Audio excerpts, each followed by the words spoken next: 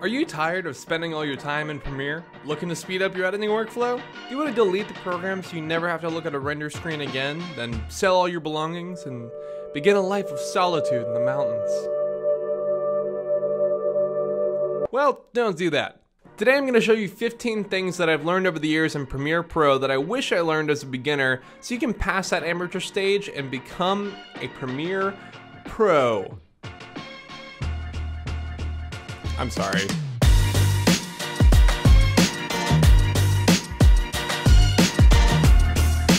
Whenever I first started recording on a dual track system, I would always try to sync the clips with just a clap, you know? Uh, you'd use the clapper uh, while recording and then sync on that clap point. It's simple enough, but there's a lot easier way to do it. What you're gonna do is you're gonna take your clips and drag them over into your timeline.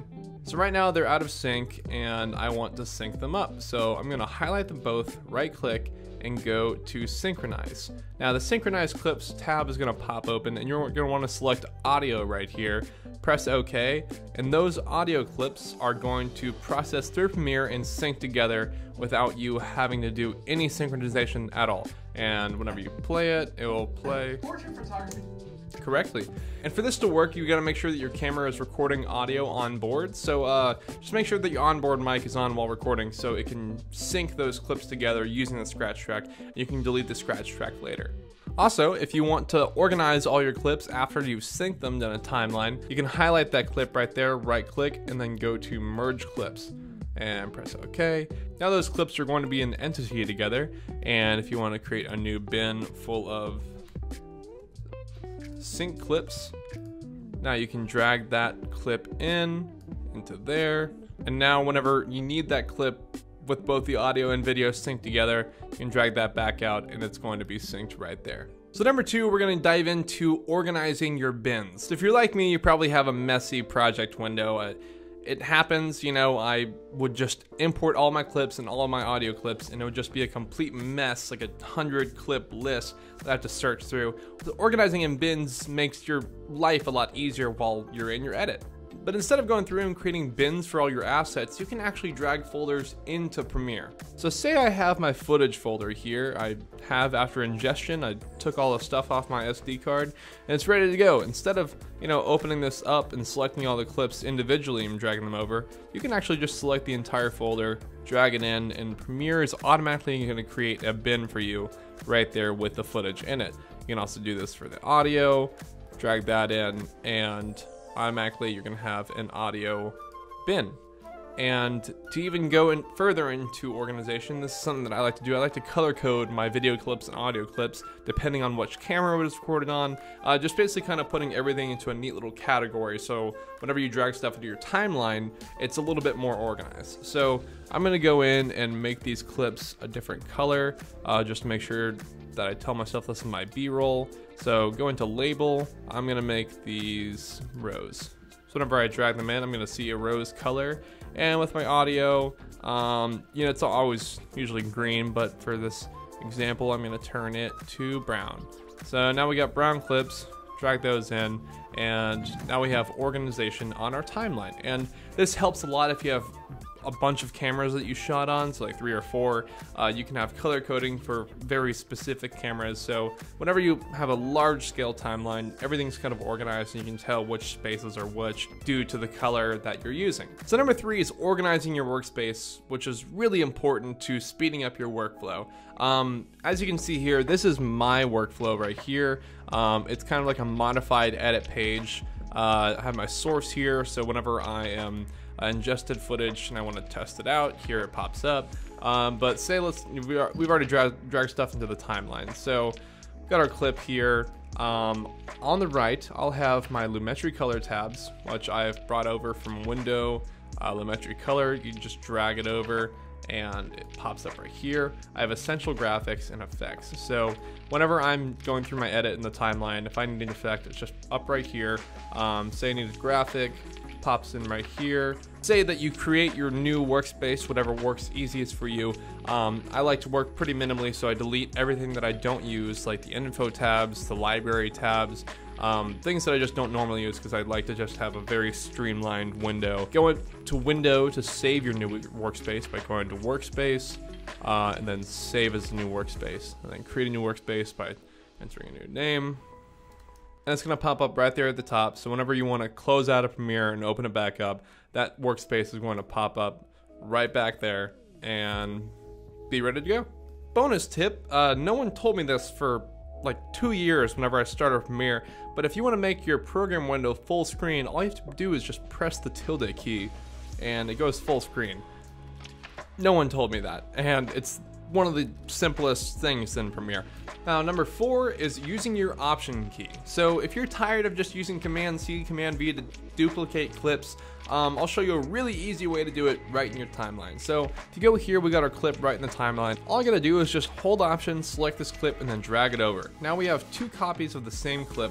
Very helpful when it comes to duplicating a lot of clips down your timeline. I use it all the time. Another option selection that you can do is actually using the option key to select individual layers of your timeline. So usually with a clip that has audio and video synced, like you have onboard camera audio, um, it won't let you select the audio by itself. So what you're going to do is hold down the option key and you'll be able to select individual layers of merged clips. So say you have all these clips down the row, uh, you don't need the audio, you can just hold option, select all of the audio and delete it. Instead of, I used to actually click the lock button on this and then it would just, you know, take three or four more clicks than I would have to do without using the option tab to delete the audio layer. So quick tip. So number five is all about cutting clips. Now, I hate the razor tool. It's clunky, it's not responsive, and you have to press another button to get to that button. And I hated using it. See, with the razor tool, you have to press C, and sometimes you have to either lining up directly on your playhead, or it, I, I just don't like it. If you press Command or Control K, depending on PC or Mac, it just splits right there at the playhead. It's easy enough, and I use this shortcut more than anything on Premiere. Honestly, Command K is my best friend. Um, it's just so simple, especially if you're, you know, coming through an edit, just pause Command K and get that clip split right there. So yeah, try it out. You might like it. So number six was learning about something called the new item tab. Now this is something no one ever told me existed while I was learning Premiere. Down here in the right corner of your project window, if you select it, there's going to be all these options to create new assets directly in Premiere. So you have adjustment layers, bars and tone, black video, um, all the things you could possibly need that isn't, you know, direct assets. Uh, so for example, say I need an adjustment layer. And if you've never used an adjustment layer before, it's basically like a null object in After Effects. So if I have a bunch of layers on my timeline right here, and I want to color grade them, I just drag the adjustment layer over top and instead of having to go into both, I can actually just color grade this adjustment layer and it will affect both layers of my video. There's also black video that you can use, which is great for graphics, you know, black background for. I actually used to go to Google and download just a black solid because I had no idea that the new item tab was in Premiere, which is ridiculous and wasted a bunch of time. Now that black video is going to add a little buffer layer between your text layer and your video layer. There's also the color matte button which you can use which is kind of like black video. Select that and create a new solid with any color that you would like. So, you know, create a new color matte, drag it in, and bam, you have a solid with a color of your choice. And finally, we got bars and tone, which is always a great thing if you need to bleep something out. You've seen it everywhere. I actually downloaded this exact thing from YouTube because I had no idea that it was just in Premiere. And if you want to use it to bleep out stuff, be my guest. Alright, so number seven is a little B-roll trick that I've learned. If you got a clip playing in your source window right here, and you've got a clip right down here in your timeline with audio that you need to use, um, whenever you normally drag in a clip from there, it'll bring in your audio timeline and you have to just, you know, keep it right there and then, you know, uh, select this audio layer by itself and delete it. It's just, if you don't need the audio layer, it's a pain to delete it if it comes onto your timeline. So right below here, uh, there's this little film strip and audio waveform. Uh, you can actually just drag just the video and bring it on top of your timeline. Or if you just need to extract the audio from the clip, you can drag that right there. And even if you need to look at the waveform of your clip without the audio, you can click that audio little tab and your audio will pop up. And that marks halfway. Get out! Got that coffee. So number eight is using a trick to incorporate After Effects. And I know some of you don't like using After Effects, but sometimes it's a necessity because you need a nice sweep for a title or you need motion blur for graphics. Trust me, sometimes you just need it. So looking here in Premiere, if I have this clip right here that I would like to place a title graphic over with some After Effects worthy stuff, instead of going to After Effects and creating the graphic, then exporting it, then dragging it back into Premiere, I can actually right click this clip and go to replace with After Effects composition. Now, Premiere is automatically going to send that clip to After Effects, and then it's going to open up that clip directly here in After Effects uh, with the exact timeline that it was on uh, from just that one clip. And from here, we can create a new title. Alright, so now we have this little ramp in title sequence, and if you want to find out how to do this, make sure you check out Todd's After Effects videos, which you can check right here in the description, right there, bam. So now that we've created the title sequence in After Effects, all you have to do is just Command S this and save it, and it's gonna pop up actually right here in Premiere automatically after you've saved it. And say that you want to make a change to the title, uh, instead of having to go back into After Effects and re-export it by, you know, changing the title, then putting it back in the render queue, you can actually just go back to After Effects and change it. Just, you know, here I want to add exclamation point. Um, just Command S that, and save it, and it's gonna pop up directly in Premiere. Anytime you save in After Effects, all that information is gonna transfer back over to Premiere. So number nine is about audio, and I'm not gonna lie, I learned this trick like a year ago, and I'm so glad that I did because it is extremely useful. So say you record something that doesn't have a high volume level and you pop it into Premiere and it's not really that, that loud and you need it louder. Now the conventional way to do it would just be, you know, dragging out the volume tab down here, but say that's not enough. I mean, there's gotta be a way to make this louder. There is. All you gotta do is just right click it and go to audio gain. Now you can actually add gain to your clip. I'm gonna add this by five decibels and it's going to increase the level of audio on your clip right there. And you can do this as many times as you need to raise the threshold of your volume without, you know, distorting it too much. So number 10 is using nesting to organize your timeline. You've probably seen something like this before. It's called a graphic stack. It happens whenever you got different parts of a graphic popping in at different intervals uh, during a clip. Now we got seven layers of video here, and if you're trying to organize your timeline, it could take up a lot of space. So with these clips here, we can actually just minimize them down to just one video layer by highlighting them all, and we're gonna right click and go to nest. Now that nest, we can create this as graphics one. Oh, don't know how to spell graphics. And it's going to automatically condense them into one video layer. This is called a nest. So here we can double click it and it's going to pop up its own little sequence. Um, so if you need to edit it at all, um, you can go into there but in your normal timeline, it's going to be just one single video layer that has been taken up by it, no longer seven, which is extremely helpful and it clears your mind and you're not staring at a giant abyss of clips that you don't know goes to what.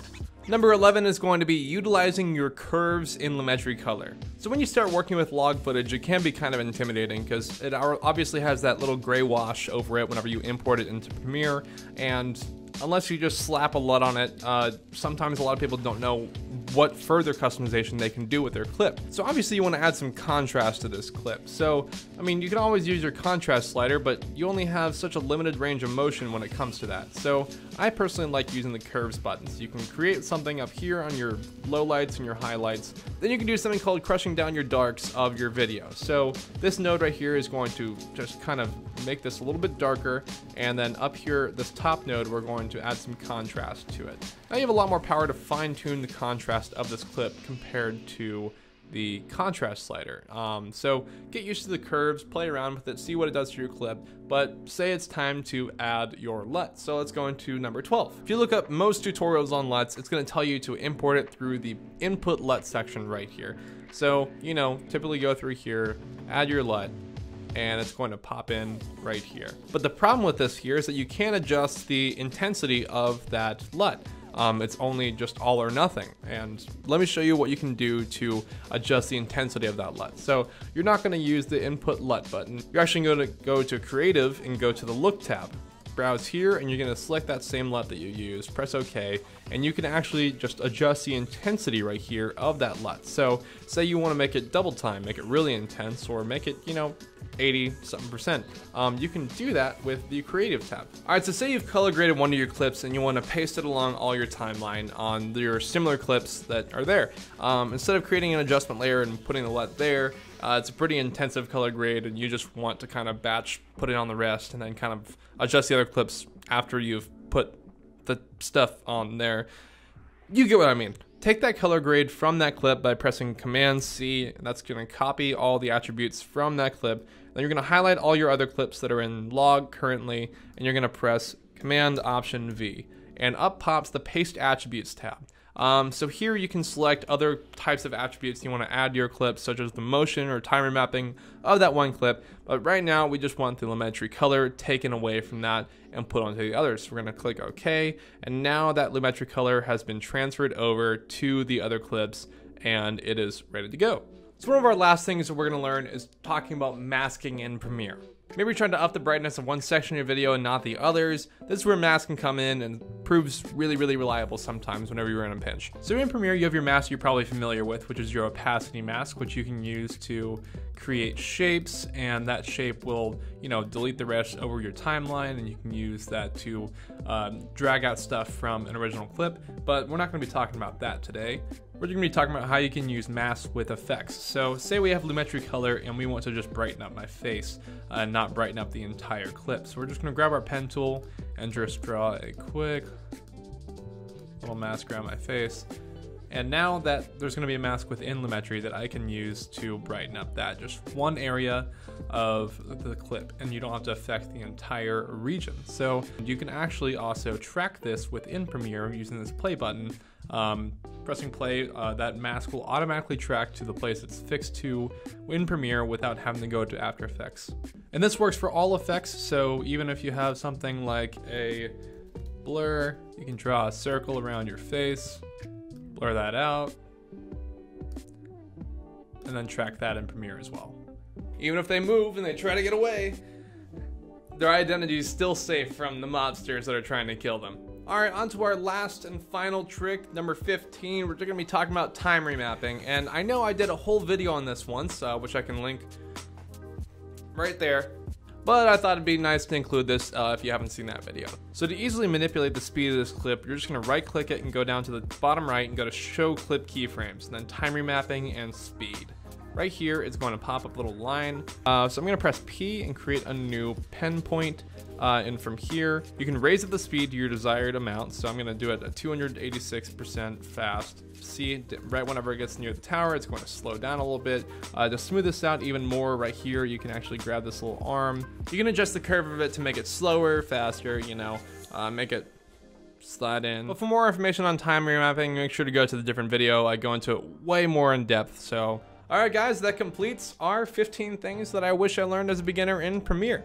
Um, hopefully these tricks and tips helped you out. Um, I really wish I knew them whenever I was starting out Premiere or even like, you know, being an intermediate level editor in Premiere.